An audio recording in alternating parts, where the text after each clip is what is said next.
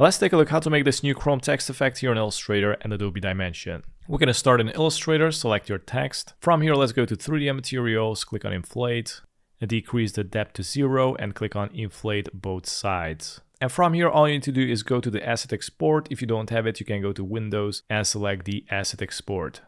Drag and drop the design into the asset export and make sure to change the format to GLTF. Click on export and save it. Now we can go to Adobe Dimension. Let's go to the asset where you saved it and just drag and drop into Adobe Dimension. Now I'm gonna bring the design up and I'm gonna go and rotate it 90 degree angles. And as you can see, we're upside down. So we're gonna push it actually downwards. So I'm gonna select it and I'm gonna push it under. And I'm gonna press the number one and rotate it. As you can see, we're at the bottom.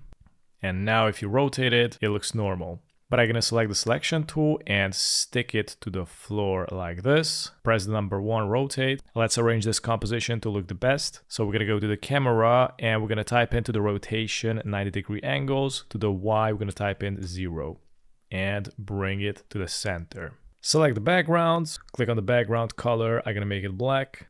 Now we're gonna collapse the models and here we got the metal. Drag and drop into the assets right here collapse the materials, substance materials, scroll down, and here we got the studio backlight like this version. Click on it and let's go to the ray tracing, activate, and it's gonna render it to look realistic. From here, let's go to the environment light properties and increase the intensity.